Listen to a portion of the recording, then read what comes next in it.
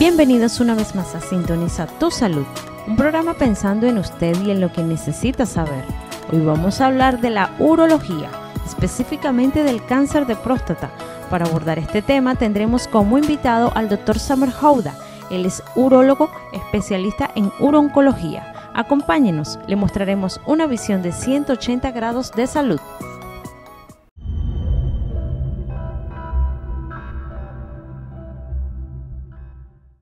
Nombre es Samer Houda, soy cirujano general, urólogo y uroncólogo. Actualmente soy adjunto de la unidad de urología oncológica del Servicio de Urología del Hospital Universitario de Caracas. Háblenos un poco, ¿de qué se trata la urología? La urología es aquella rama de la medicina que se encarga del estudio de todas las vías urinarias, es decir, riñón, uréter, eh, vejiga, próstata en el caso del hombre y uretra.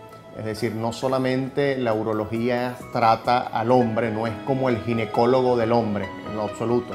Eso es un falso, es un mito. Eh, realmente la urología trata hombres y mujeres porque tanto, ambos sexos tienen riñones, ambos sexos tienen vejiga, ambos sexos tienen uretra y uréteres.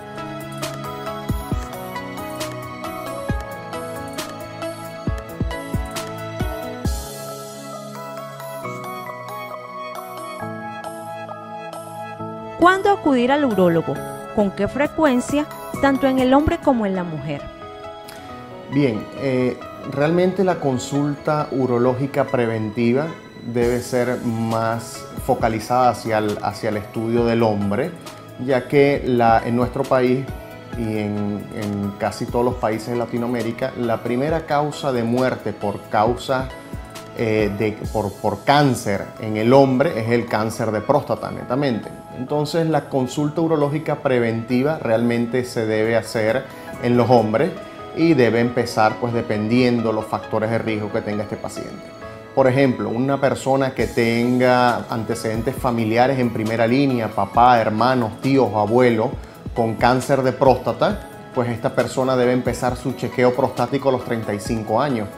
Ahora, si esta persona no tiene ningún antecedente familiar de importancia de cáncer de próstata, pues este paciente puede empezar su consulta urológica entre los 45 y 50 años de edad.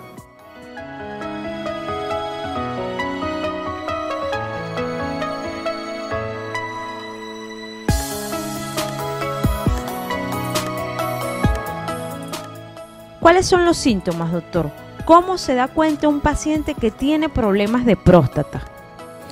Realmente ese es el problema.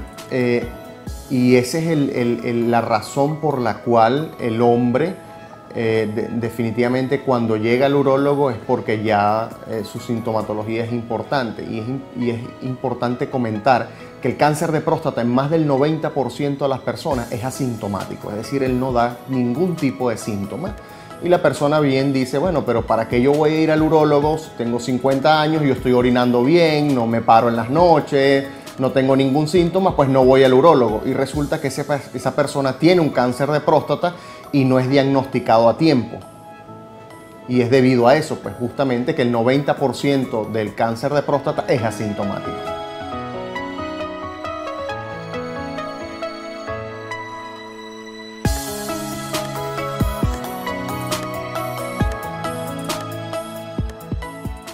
¿Cuáles serían sus recomendaciones para la prevención del cáncer de próstata? Mira, el, cáncer de próstata tiene muchos factores de riesgo. Obviamente hay muy pocos, o sea, los, que son familiares o hereditarios, pues no hay manera de prevenirlos. Definitivamente el chequeo eh, constante, periódico, adecuado, empezar a las edades adecuadas, las consultas urológicas, es la forma de diagnosticar un cáncer a tiempo y poder ser tratado. El cáncer de próstata es un cáncer muy tonto y me disculpan la expresión, ya que es diagnosticado a tiempo, es uno de los pocos cánceres que se puede decir que es 100% curativo. Es decir, un cáncer de próstata diagnosticado adecuadamente en fase localizada, pues es un cáncer que puede ser curado en su totalidad el 100% de los casos. El detalle es eh, algunos factores de, riesgo, como, como, les comentaba, los, los, hereditarios o familiares, pues eso no hay nada que podamos hacer, no podemos quitarnos los genes de encima, más sí podemos ir adecuadamente a las consultas. Ahora hay otros factores que son eh, factores generales que pueden contribuir a disminuir la incidencia del cáncer de próstata, como es el caso de la ingesta de alimentos ricos en grasas animales, eso pues quitándonos ese, ese factor de riesgo, pues disminuimos la incidencia del cáncer de próstata. Lo otro es el tabaquismo, que a pesar de que no está relacionado íntimamente como un factor de riesgo eh, directo para el cáncer de próstata, pues mejora lo que es la cantidad de radicales libres y por eso nos disminuye el factor de riesgo para cáncer de próstata.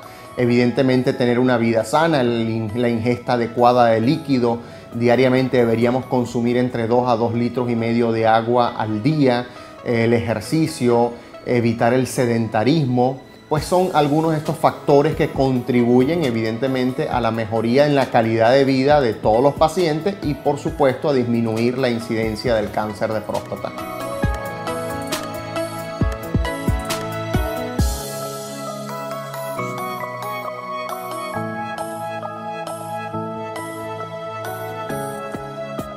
Si bien es cierto que hay pacientes que no presentan síntomas, ¿cuáles sí son los síntomas de quienes sí los presentan? Es decir, ¿el color y el olor de la orina tiene algo que ver? Mira, eh, los síntomas prostáticos son muy vagos.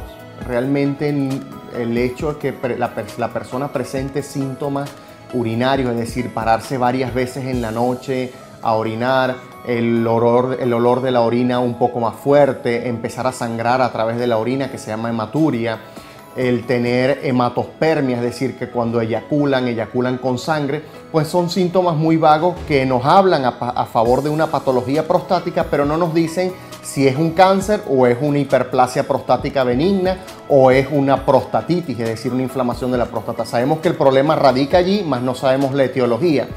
Ahora, hay sintomatología que lamentablemente cuando diagnosticamos un cáncer por la sintomatología, pues la sintomatología es más de una enfermedad metastásica, es decir, dolor en los huesos o que aparezcan fracturas patológicas, es decir, la persona va a levantar de pronto un peso y se le fractura el, húmero o se le fractura, entonces en ese momento se da cuenta que tiene metástasis en los huesos y realmente en ese estadio pues es muy poco lo que, no es muy poco lo que se puede hacer, pero es muy poco para, hablar de, curación de la enfermedad. Como les dije anteriormente, el cáncer de próstata es una patología que hasta en los peores de los casos, es decir, las personas que están en casos metastásicos, la sobrevida inclusive puede alcanzar los 10 años. Entonces es un cáncer de muy buen pronóstico. ¿Es dañino contener la orina? Bueno, indudablemente uno de los grandes placeres que hay es, poder orinar, ¿no? Y uno de los, de, los desagrados más importantes es un paciente que llega a la emergencia sin poder orinar a pesar de tener el deseo. Realmente el, aguantar las ganas de orinar, ¿ok? Por mucho tiempo, lo que puede condicionar es uno a que evidentemente se inflame la vejiga, en el caso de la mujer es lo que llamamos cistitis, ¿ok? Que puede ser no solamente infecciosa, sino inflamatoria y en el caso del hombre puede provocar prostatitis, ¿ok? que es la inflamación de la próstata debido a que la próstata está en contacto prácticamente con la vejiga y la orina. Es doctor Summer, y ese llamado a la población en general, acudir a la consulta de urología a tiempo, ¿qué tiene que usted decirle a los pacientes?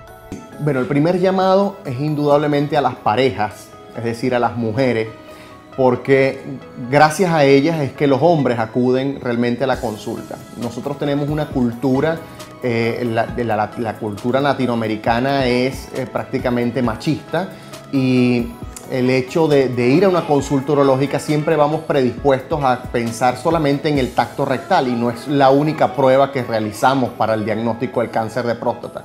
¿okay? De hecho, es una de las pruebas complementarias, más no es la única. Eh, el llamado es para esas mujeres que, pues, que ven que su pareja ya ha tenido los 50 años y no ha ido a su consulta urológica, pues evidentemente debe acudir, debe ser llevado a la consulta urológica, no esperar a que aparezcan los síntomas. Ahora, si por el contrario ya los síntomas aparecen, usted escucha que su esposo, por ejemplo, está orinando entrecortado, suelta un chorro, para, vuelve a soltar otro chorro, eso indudablemente es un síntoma prostático. Si usted ve que su pareja o usted amigo se para más de una vez en la noche, se para dos y tres veces al baño, eso no es normal. No es normal que tenga urgencia para orinar, no es normal que sangre a través de la orina. no es normal que se vaya a tomar una cerveza y después no pueda orinar. Evidentemente todo esto son síntomas prostáticos y lo ideal es no esperar a que aparezcan los síntomas para ir al, al urólogo. La consulta urológica debe aparecer, a los, debe eh, iniciarse a los 50 años de edad. Muchísimas gracias, doctor, por su aporte a la salud y sus valiosos consejos. Será hasta la próxima.